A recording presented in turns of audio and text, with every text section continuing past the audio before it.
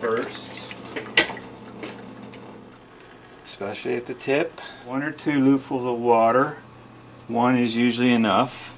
Gently touch one of the colonies or some of the growth with the, the tip of your loop. Just gently touch it. Uh, spread around the bacteria in the drop of water on the slide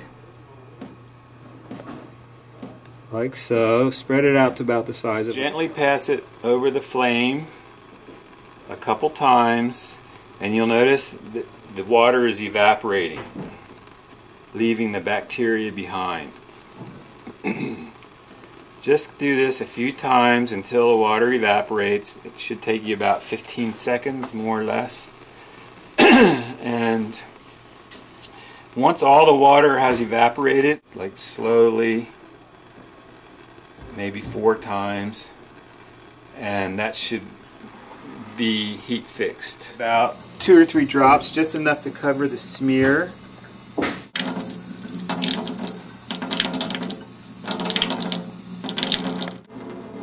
Into slowly running water, and then shake off the excess. You cover the smear once again with as many drops as it takes to cover the smear. Mordant, it makes the crystal violet stick to the bacteria if it's going to be gram positive. The iodine off the slide and then shake off the excess water again. And then we go to step three, which is the. Okay.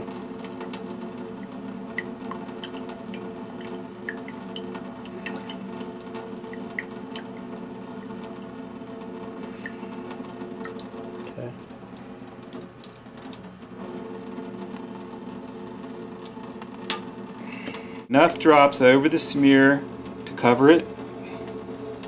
Rinse it off once again. Shake off the excess water. And then you can gently take a Kim wipe. Take a Kim wipe and blot it gently. Don't rub it, but blot it until it's dry, and then you can look at it under the microscope.